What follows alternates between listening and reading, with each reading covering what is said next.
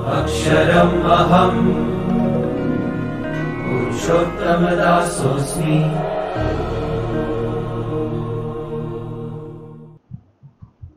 જય સ્વામિનારાયણ બધાને અ, એકાદ બે બાબતની ખાસ અહીંયા ચોખવટ કરવી હતી આપણે જે ચર્ચા કરી ગયા છો ચર્ચા કરી ગયા છીએ એમાં એકાદ બે વસ્તુ છે વધારાની આપણે એડ કરીએ છીએ અ, એક ખાસ અ, કે કોઈ પણ પદાર્થ છે વિદ્યુત ભારિત છે કે નહીં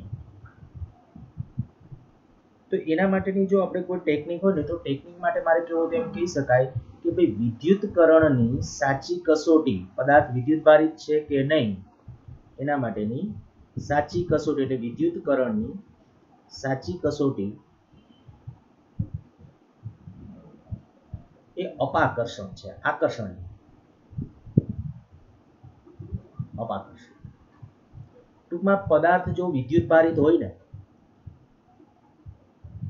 તો આકર્ષણ બળે લાગી શકે, અપાકર્ષણ બળે લાગી શકે આપણને ખબર છે. પણ તટસ્થ પદાર્થ હોય ને તો તટસ્થ પદાર્થ અને વિદ્યુતભારી પદાર્થ. યાદ કરો, આપણે જ્યારે થિયરીની ચર્ચા કરતા ત્યારે કીધું હતું, કોઈ ગોળો તટસ્થ છે અને કોઈ એક ગોળો છે પોઝિટિવ, ધનભારિત છે. તો શું થાય? તો કે આમાં છે ને, જ્યારે નજીક લાવવામાં આવે ત્યારે આમાં વિદ્યુત ભાર પ્રેરિત થશે અને આના વચ્ચે આકર્ષણ બળ લાગે. તટસ્થ પદાર્થ અને વિદ્યુત ભારિત પદાર્થ વચ્ચે કેવું બળ લાગી શકે? આકર્ષી પ્રકારનું વિદ્યુત બળ લાગી શકે. એનો અર્થ કે આકર્ષણ છે લાગતું હોય તો એમ ન કહી શકો પદાર્થ વિદ્યુત ભારિત છે. પણ જો અપાકર્ષણ લાગતું હોય વિદ્યુત ભારો વચ્ચે, તો આપણે ચોક્કસ કહી શકાય કે એ છે એ વિદ્યુત ભારિત હશે જ. તટસ્થ પદાર્થ અને વિદ્યુત ભારિત પદાર્થ વચ્ચે ક્યારેય અપાકર્ષણ બળ ન હોઈ શકે. આના રિલેટેડ એકવાર એક ક્વેશ્ચન પણ પૂછેલો હતો. લગભગ ગુજકેટના પેપરની અંદર. પ્રશ્ન કંઈક આવી રીતે આમ હતો. કે પાંચ ગોળાઓ છે? એક, આ બે, ત્રણ, ચાર, પાંચ. નામ આપી દઉં છું.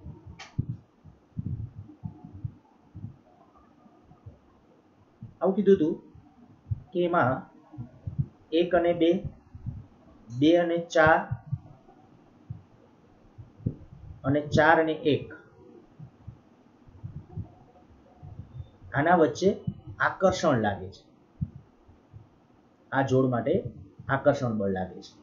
અને બે અને ત્રણ અને ચાર અને પાંચ આ જોડ વચ્ચે અપાકર્ષણ છે. આ રકમમાં આપણને આપેલું હતું. તો આપણે આવું કીધું હતું કે બોલ એક પર, એટલે આ જે પદાર્થ છે કે બોલ છે, બોલ એક પર કેવો ચાર્જ હશે? બોલ એક પર. તો આપણે ક્યાંથી શરૂ કરવું? તો કે પહેલા અપાકર્ષણથી શરૂ કરવાનું હંમેશા. બે અને ત્રણ વચ્ચે અપાકર્ષણ છે. માની લો કે હું બે ઉપર છે ને ધન ચાર્જ ધારું આમ. તો ત્રણ ઉપર એ કયો ધારવાનો? ધન અચ્છા, પાછું એણે એવું કીધું છે ચાર અને પાંચ વચ્ચે અપાકર્ષણ છે. હવે અપાકર્ષણ છે તો બની શકે કે કદાચ આના અને આના વચ્ચે. આમાંથી બે ઉપર ધને હોઈ શકે ને બે ઉપર ઋણે હોઈ શકે. પણ એ વિચારી એના માટે જે આ શરત લેતા જાઓ કે એક અને બે વચ્ચે આકર્ષણ છે. એક અને બે વચ્ચે આકર્ષણ છે એનો અર્થ એવો થયો કે આ છે કાં તો ન્યુટ્રલ છે, બરાબર? કાં તો ન્યુટ્રલ છે અને કાં તો ઋણ છે. બેમાંથી એક છે. અચ્છા, બીજું. બે અને ચાર વચ્ચે કેવું બળ લાગે છે? બે અને ચાર વચ્ચે તો કે બે અને ચાર વચ્ચે આકર્ષણ બળ લાગે. જો બે અહીંયા આપણે કીધું છે, બે અને ચાર વચ્ચે આકર્ષણ છે. તો એનો અર્થ કે આ પોઝિટિવ છે તો આ કાં તો નેગેટિવ હોય અને કાં તો ન્યુટ્રલ હોય. બરાબર? પછી ચાર અને એક વચ્ચે આકર્ષણ છે. તો ચાર અને એક વચ્ચે આકર્ષણ લાગવા માટે, ચાર અને એક વચ્ચે આકર્ષણ લાગવા માટે પહેલી વસ્તુ તો એક ક્લિયર થઈ ગઈ કે આમાંથી એક તો વિદ્યુત ભારિત હોવો જ જોઈએ. ગમે કંઈક એક- વિદ્યુત ભાર આના ઉપર હોવો જોઈએ. તો હું એમ કહું કે માની લો કે આના ઉપર છે માઇનસ ચાર્જ છે. આના ઉપર કયો છે? માઇનસ જો આના ઉપર માઇનસ છે, તો આના ઉપર કયો આવશે?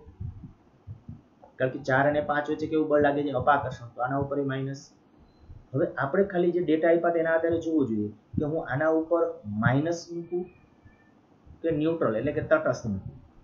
મારે હું આના ઉપર માઇનસ મૂકું જો આના ઉપર માઇનસ મૂકું શું થાય? જોજો કન્ડિશન સંતોષાય છે.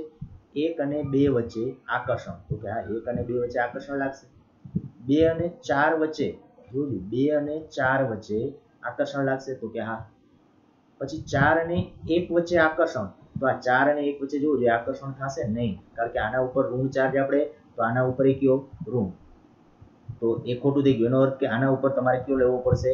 ન્યુટ્રલ બરાબર? તો અહીંયા ગોળા એક ઉપર કેવો ચાર્જ હશે? ન્યુટ્રલ એટલે ખાસ આપણે આમ તો આ એક જ મુખ્ય શબ્દ સમજવાનો હતો કે ભાઈ વિદ્યુતીય કરણ એટલે કોઈ પણ પદાર્થ છે વિદ્યુત ભારિત છે કે નહીં, એ તપાસવા માટેની જો કોઈ સાચી કસોટી હોય તો એ કઈ છે? અપાકર્ષણ છે. આમાં હજી કદાચ તમારે ઊંધું વિચારવું તો વિચારજો. તમને એમ આને હું ન્યુટ્રલ લઈ લઉં, આને ન્યુટ્રલ લઈ લઉં અને આને ઋણ ભારિત લઉં તો શું થાય? તો ટ્રાય કરજો. હલવાઈ જશો. અહીંયા જ્યારે આપણે આપણે જે લીધું છે એ પ્રમાણે, અહીંયા જ્યારે આપણે ઋણ લઈએ છીએ અને અહીંયા ન્યુટ્રલ લઈએ છીએ, તો જ આ બધી બધી કન્ડિશન છે એ ફૂલફિલ થશે. સારું, ચાલો. એક નેક્સ્ટ એનાથી આગળ.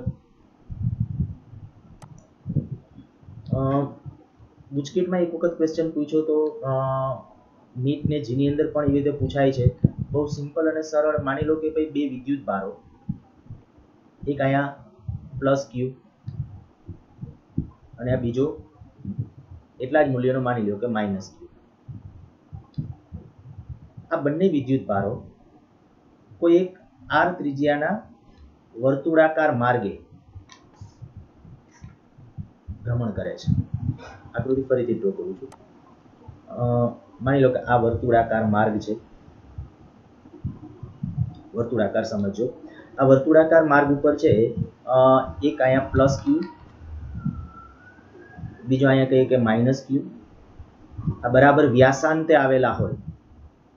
સર્કલની ત્રિજ્યા કહી દઉં છું આ આ ત્રિજ્યાવાળા સર્કલ ઉપર આ બંને એકબીજા વચ્ચે લાગતા વિદ્યુતીય આકર્ષણને કારણે વર્તુળાકાર માર્ગે ભ્રમણ કરે છે. એકબીજા વચ્ચે લાગતા વિદ્યુતીય આકર્ષણને કારણે વર્તુળાકાર માર્ગે ભ્રમણ કરે છે, તો એના ભ્રમણનો આવર્તકાળ કેટલો હશે? માની લો કે આનું દળ છે એ એમ છે, આનું દળ પણ એમ છે. ટૂંકમાં એમ દળ ક્યુ ચાર્જ ધરાવતા આવા બે પાર્ટિકલ્સ, એક પ્લસ ક્યુ છે, એક માઇનસ ક્યુ, બંને વચ્ચે લાગતા આકર્ષી પ્રકારના જે વિદ્યુતીય બળ છે, એને કારણે વર્તુળાકાર માર્ગે ભ્રમણ કરે છે, તો આના પરિભ્રમણનો આવર્તકાળ. હવે ઇલેવન્થની અંદર આપણે ગુરુત્વાકર્ષણની અંદર પણ મેં આવા કીધા હતા, અહીંયા ડ્યુલ સ્ટાર કીધા હતા. સેમ વસ્તુ અહીંયા. કે આ બંને જ્યારે એકબીજા વચ્ચે લાગતા વિદ્યુતીય બળને કારણે તો આ બે વચ્ચે કેટલું વિદ્યુતીય બળ લાગશે? તો અહીંયા કહીશ કે ભાઈ વિદ્યુતીય બળ એ છે ને જરૂરી એવું કેન્દ્રગામી બળ પૂરું પાડે. કેન્દ્રગામી બળ. અચ્છા, વિદ્યુતીય બળ કેટલું હશે? તો આ બે વચ્ચે જો આપણે વિદ્યુત બળ લખવું તો કે આ કેપિટલ ક્યુ આ કેપિટલ ક્યુ તો કે ક્યુ સ્ક્વેર અપોન બે વચ્ચેનું અંતર, તો કે જો ત્રિજ્યા આર હોય તો આ વ્યાસ કેટલો થઈ જશે? ટુ આર તો ટુ આર એનો સ્ક્વેર. બરાબર. કેન્દ્રગામી બળ, તો એમ દળના કણ વર્તુળાકાર માર્ગે ભ્રમણ કરે એના માટે કેન્દ્રગામી બળનું સૂત્ર શું થાય? M V square by R હવે જે પૂછ્યું છે એને અનુરૂપ તમારે ખાલી સાદુરૂપ આપવાનું છે. જો ઓમેગા કોણીય ઝડપ પૂછ્યું હોય તો વી બરાબર આર ઓમેગા લખી નાખો. આવર્તકાળ પૂછ્યો હોય તો એ રીતે. અહીંયા આપણે લખીએ છીએ કે Q square upon four R square બરાબર. એમ વીને બદલે લખું છું. ઓકે અહીંયા છેદમાં એક આર વીને બદલે લખીએ છીએ two pi R upon T આપણે આવતકાળ મેળવવો છે એટલે એનો વર્ગ. હવે જુઓ, તો કે Q square upon four R એક આર આની યારે કેન્સલ કરી નાખ્યો છે. બરાબર. Four pi square R square M upon T square આવું થઈ ગયું. આમાંથી જો ટીને સૂત્રનો કરતા બનાવી દેશો તો ટી વર્ગ બરાબર શું થઈ જશે? ફોર એટલે અહીંયા સોળ પાઈ સ્ક્વેર આર સ્ક્વેર એટલે આરની ત્રણ ઘાત એમ અપો કે ક્યુ સ્ક્વેર બસ, તો આના ઉપરથી જો આવર્તકાળ મેળવો, તો આને વર્ગમૂળમાં મૂકી દો, એટલે એ આપણો આન્સર થઈ જશે. તો આવી રીતે પ્રશ્ન પૂછાય છે.